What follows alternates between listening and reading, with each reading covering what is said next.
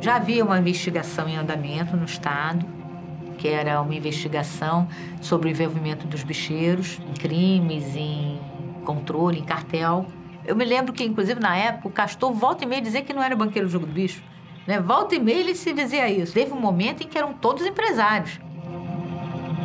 Não é a primeira vez, há 15 anos, eu fico até sem graça, porque uma pessoa que acusa os outros 15 anos e não prova, não, que tenha revestido no poder público, como é o promotor, que não prova nada, só acusa, realmente já chega a ser leviandade. Diz que concordaria com uma devassa no jogo do bicho. Não, devassa do jogo do bicho não. Da minha vida fiscal, já fui devassado 10 vezes, mas uma 11, qual a diferença? Quando chega em casa, é duro as perguntas que os filhos lhe fazem. Isso dói muito. É por isso que às vezes a gente se exalta um pouquinho, porque dói muito, dói dentro do coração, dói muito e fundo. Um dia se acontecer isso, com a infelicidade dela que acontece com a gente, um dos senhores, vocês vão ver que dói demais. Dói muito e muito fundo.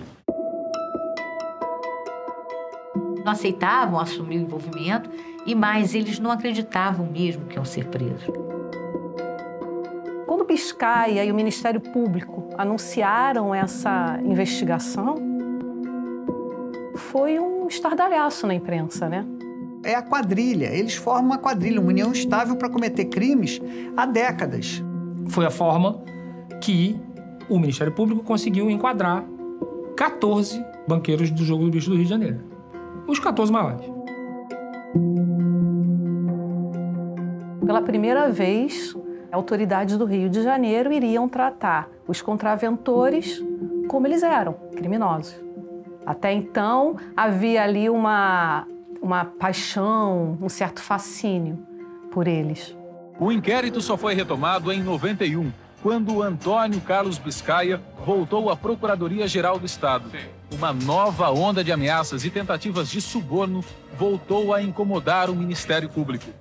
Recebi também um parlamentar, evidentemente.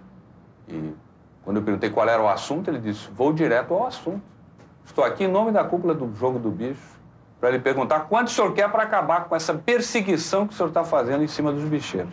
Então ficamos 91 e 92 realizando investigações internamente no âmbito do Ministério Público.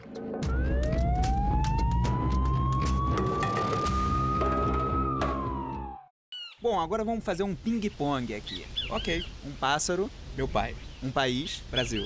Um canal, esse. Um botão, inscreva-se. Muito obrigado pela sua presença no nosso programa e para mais vídeos como esse, inscreva-se no canal do Canal Brasil. Clica.